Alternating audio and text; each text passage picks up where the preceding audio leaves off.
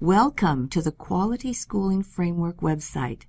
The California Department of Education developed the Quality Schooling Framework to assist educators as they work to ensure that the students in their schools are learning and thriving.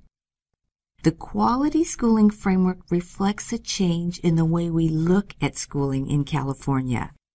In the past, schooling was based on a compliance model. As you can see in this diagram, schools and districts were required to respond to a set of performance requirements for funding. Today, the California Department of Education is committed to a model in which schools and districts are empowered to adopt and enact policies and programs that best suit their local needs to support students' success in their local communities. Unlike past supports, the Quality Schooling Framework, or QSF, is not a checklist of requirements or mandated activities.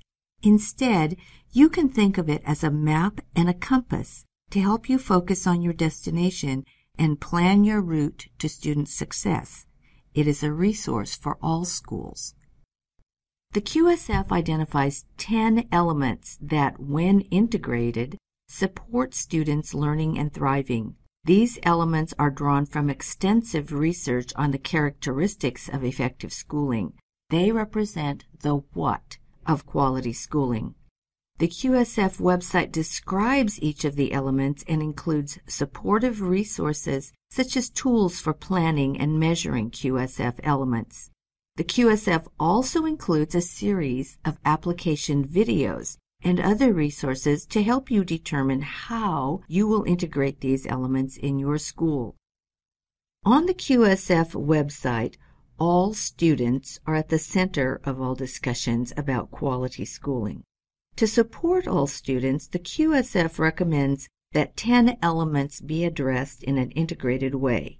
These elements include curriculum, instruction, assessment, equity, teachers, family and community engagement, leaders, professional learning, culture and climate, and resource alignment.